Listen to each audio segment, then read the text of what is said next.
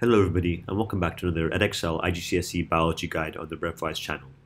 Today I'm going to be doing one of the most important practical subunits in the biological molecules unit and probably the most important practical subunit in the whole IGCSE biology course. This is so important because it's actually not that common that practical questions appear on your um, prescribed practicals on the syllabus, but for this specific unit, it actually appears very often. And this unit I'm talking about is, as you can tell from the title, food tests. Food tests, food tests appear very often, and it's really important that you know all the food tests for your course. So let's go right into it. What are food tests? So food tests are a common inclusion in many biology papers. The four tests that you need to know are for the four biological molecules that you really dive into, which is lipids, proteins, glucose, and starch. You really do need to remember the method for all of these, as any of them can come up during your paper. Alright, now before we go right into the actual food test, we need to do one of the most important things about food tests that people often forget, which is preparing the actual food sample. See, solid foods that are in their whole form cannot be tested on, as you won't observe any color change when using the chemicals on them. Hence, a food sample must be prepared. Now, the good thing for you guys is the preparation for the food sample is a universal method, and you don't even have to go as in depth as I show in this slide, but it's important that you just know how to do it. So the steps are to break up the food using a mortar and pestle, for example. Then transfer the food to a test tube and add distilled water. Then mix the food with the, uh, with the water using a glass stirring rod. And then filter the mixture using funnel and filter paper, collecting the solution. And now you can proceed with any of your food tests um, that I'm going to explain in a second. Now, one thing to note is you do not have to go this much depth, but I think it's important that you guys just get an understanding of how to prepare the food sample. And remember, you cannot do a food test on a whole solid food. It doesn't work. So you need to prepare the food sample before. Okay, right into our first test, which is starch. Now, one thing to note is that for all of the biological molecule food tests, they have a key substance involved that will help you determine if the biological molecule is present. For starch, you have to remember it's iodine solution. This will get you the mark for the question with starch. So first thing you have to do is add the food sample to a test tube, and then add a few drops of iodine solution to the test tube. Now the thing for the second mark to remember is that the positive change, which essentially means the change that if starch is present, you will see a change from orange slash brown to blue slash black. Now one thing to note is the color uh, is quite uh, varying for iodine. Uh, there's a couple different interpretations of it. These are colors that will get you marks in the mark scheme. And as I'll see in the image on the next slide, this is an image that shows the color change and it says brown slash yellow, blue slash purple. These will also get you marks most of the time.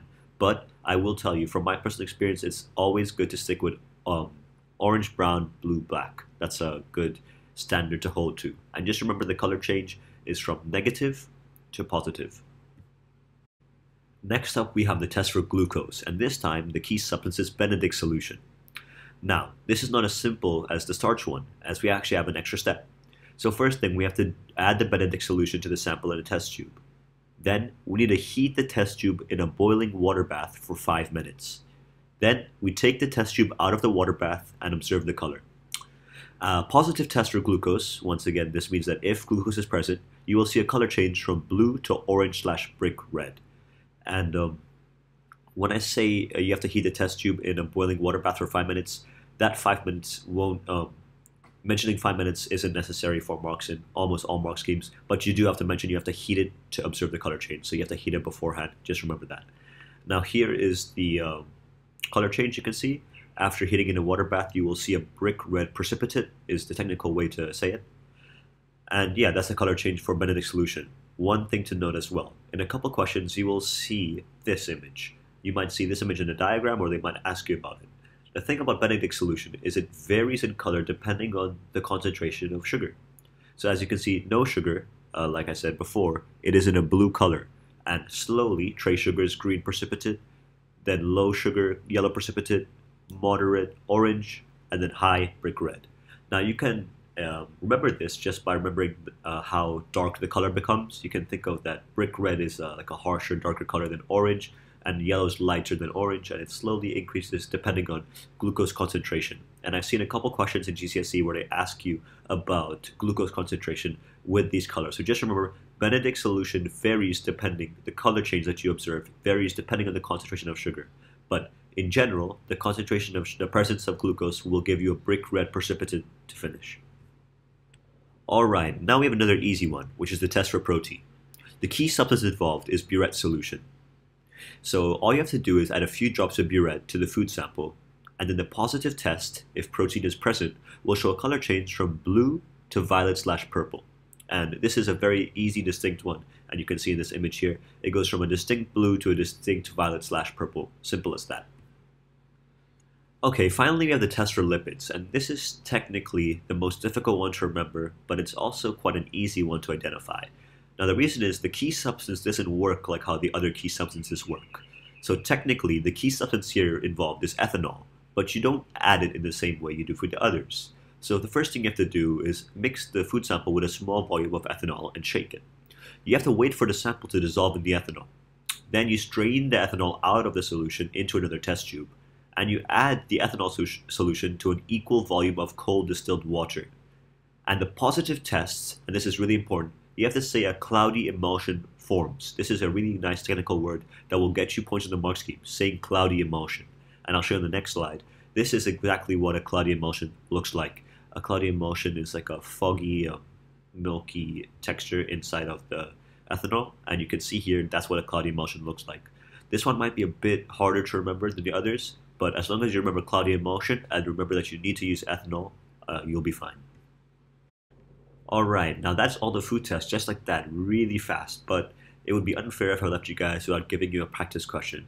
So I couldn't find too many, but I found this one that I think is pretty good. So it says, bread contains starch. Describe how you would test a piece of bread to show that it contains starch for two marks.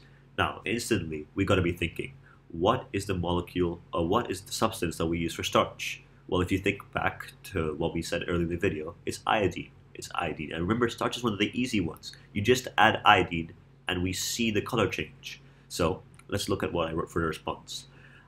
Here's an ideal response for the two marks. Add iodine to the bread, and if starch is present, a blue-black color would be observed. Notice how I didn't have to say the initial color because it's asking how would I know if color, if starch was present. Well, you know if it, if it was present if you saw the blue-black color. Now you may be wondering, this bread was never made into a food sample, so how are we doing this? Well, the thing is, this question's only two marks, and in these two mark questions, they don't often ask for the food sample technique. Now this may be a bit confusing for you, but if you just want to do it either way, I added the extra step in brackets at the bottom. First break up the mortar using a mortar and pestle, add distilled water, and then stir until mixed. That will just give you the reassurance that you've covered all the boundaries, but I'm telling you for two marks, it's very rare you'll need to state that you need to make it into a food sample. And yeah, that's how you get perfect response for this question. And uh, finally, here's the recap for the video. It shows all of the food tests with the color of the reagent, the positive test result, and the negative test result with no change.